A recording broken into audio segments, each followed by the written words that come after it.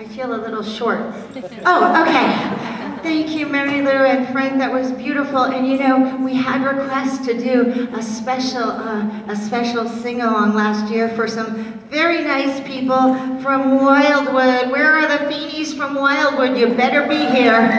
Okay you weren't here the last time, and I, I said, well, if they come, uh, they're, they're relatives of one of our uh, trombone players. That's Ted Blom over there, who will be playing trombone and tuba tonight. He asked me, uh, he said, my, my family really wants to do a sing-along. And you're, were you singing along? Sure you were. well, you're going to get another chance at the end of the show. And now, ladies and gentlemen, uh, uh, you know, I, I don't like to do commercials that much. And uh, I'm going to do a little commercial for our season, for our 2012 season. We have eight shows for our 2012 season, and one of them is going, yes, thank you. At least two of you are coming. well, you know, I, it's a Christmas show, but I thought it would be nice to do a Broadway song from our Broadway show. And to do it, we have a beautiful and very talented lady to come up right now. Ladies and gentlemen, Miss Jacklyn Buckingham.